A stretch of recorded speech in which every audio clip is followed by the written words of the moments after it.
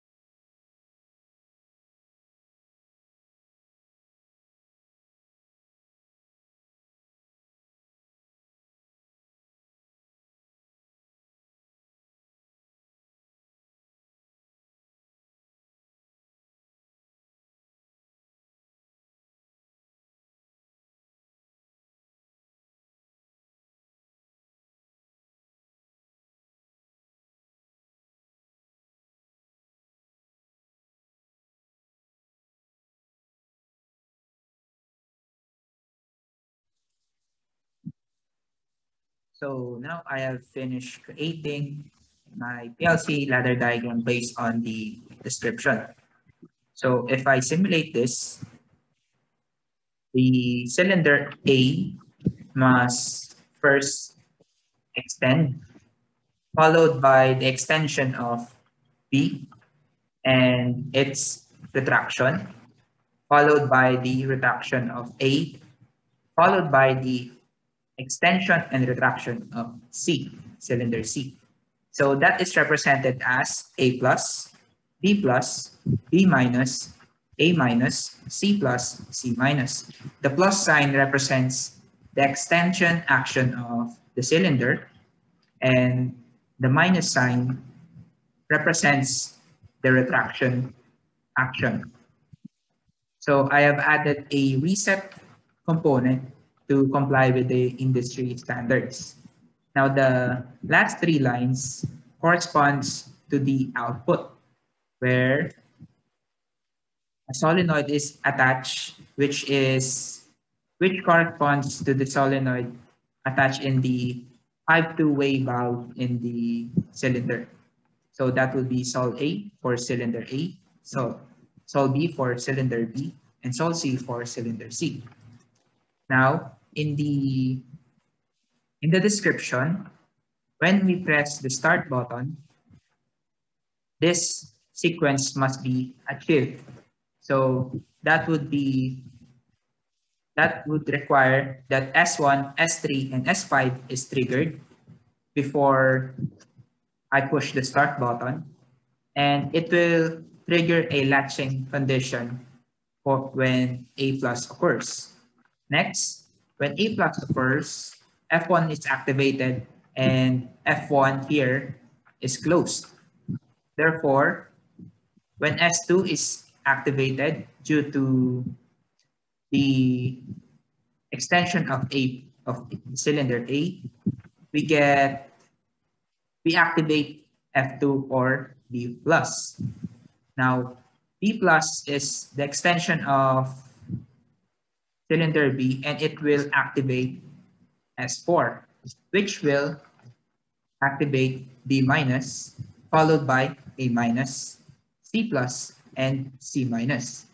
Now, when you get to C minus, F, it will activate F6 and when F6 is activated, it will close this contact. And since S5 is already activated due to it being at the retracted position of C, the cylinder C, we can reset the system after it has reached the final event in the sequence. So let us simulate the PLC ladder diagram. So as you saw, cylinder A extended. And while it is extended, B, cylinder B extended and then retracted. After that, uh, A, cylinder A retracted. Then it is followed by the extension and retraction of cylinder C. So let us repeat that again.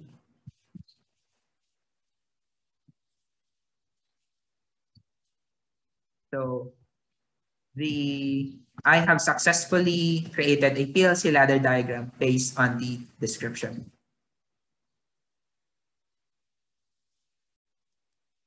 So now that I have finished creating the PLC ladder diagram, I will now create a function block diagram that is based on that PLC ladder diagram.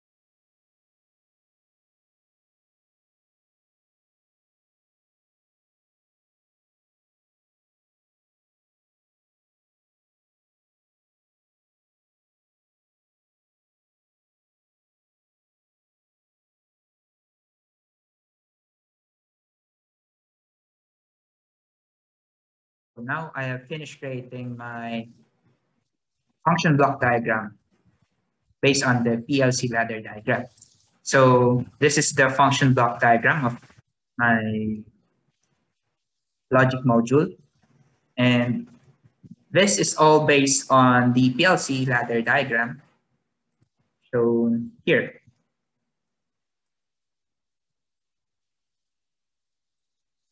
I2 represents S1, I3 represents S2, I4 represents S3, I5 represents S4, I6 represents S5, and I7 represents S6.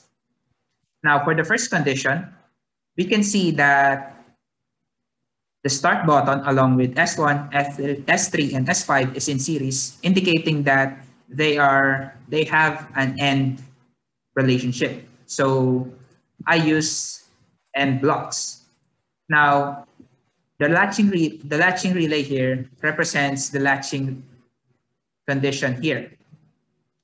Next is S2 must be triggered uh, and also the latching condition of the first condition.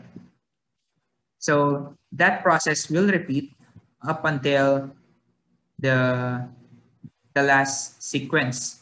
Now for the reset, I use the reset for all the, I connect the, connected the, all, all the reset for the latching relays with S5 here and the latching connection here in the end, the AND relationship of the latching connection here and S5.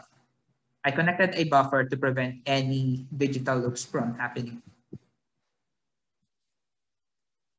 Now this NOT blocks and this AND blocks represents the output.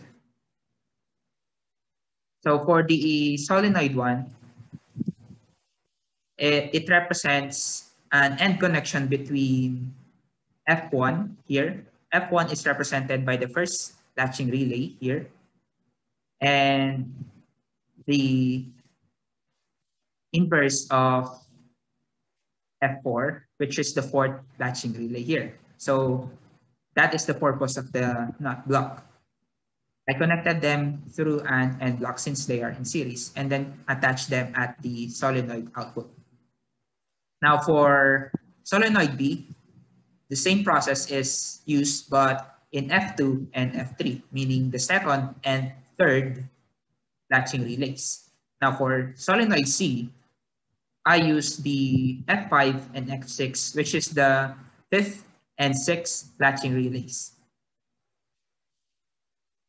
Now, if we are going to simulate this in the FluidSIM, we can see that the resulting action of the cylinders is exactly the same as the ones from the PLC ladder diagram.